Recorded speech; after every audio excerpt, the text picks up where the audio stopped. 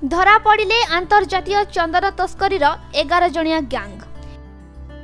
ଏହି ଏଗାର ଜଣଙ୍କ ମଧ୍ୟରେ ଗଜପତି ଜିଲ୍ଲା ଗଣ୍ଡାହାତୀ ଅଞ୍ଚଳର ଚାରିଜଣ ରହିଛନ୍ତି। ଏହି ଗ୍ୟାଙ୍ଗର ଅନ୍ୟ ଚାରିଜଣ ଫେରାର ଥିବା ବେଳେ ସେମାନଙ୍କୁ ଗିରଫ କରିବା ପାଇଁ ପ୍ରୟାସ ଜାରି ରହିଥିବା ଶ୍ରୀକାକୁଲମ ଏସ୍ପି ରାଧିକା ସାମ୍ବାଦିକ ସମ୍ମିଳନୀରେ ସୂଚନା ଦେଇଛନ୍ତି।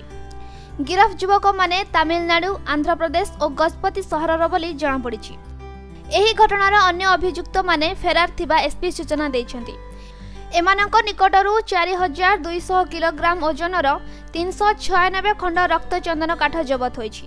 ଏଥିସହ ଆଇଚର ଗାଡ଼ି ଏବଂ ଏକ କାର୍ ଜବତ ହେବା ସହ ପଇଁତିରିଶ ହଜାର ନଗଦ ଟଙ୍କା ଏବଂ ଚଉଦଟି ମୋବାଇଲ ଫୋନ୍ ମଧ୍ୟ ଜବତ ହୋଇଛି।